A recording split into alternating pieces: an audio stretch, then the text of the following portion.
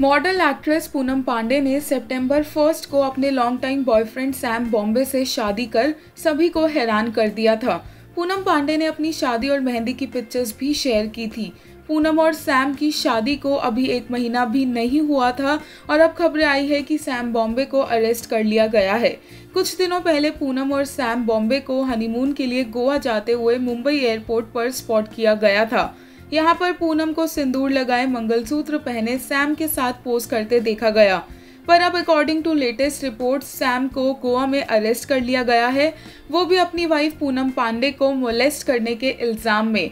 जी हाँ मंडे रात को पूनम पांडे ने गोवा पुलिस स्टेशन में अपने हस्बैंड सैम बॉम्बे के अगेंस्ट मोलेस्टेशन थ्रेटनिंग और असॉल्ट की कंप्लेंट फ़ाइल की थी, जिसके चलते पुलिस ने ट्यूसडे को सैम को अरेस्ट कर लिया।